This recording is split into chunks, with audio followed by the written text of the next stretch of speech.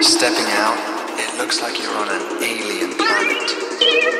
This is the proto-Earth 4.53 billion years ago. The surface is fractured.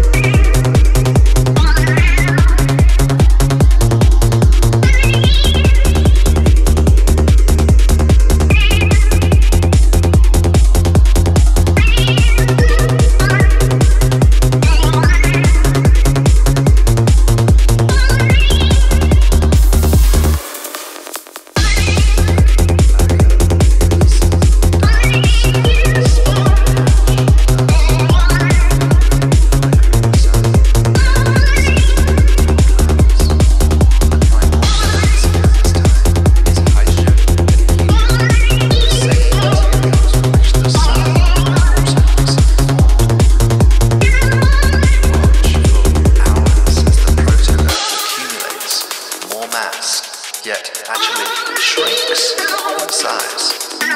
As the planet's mass and gravity increases, it compresses the rock beneath you.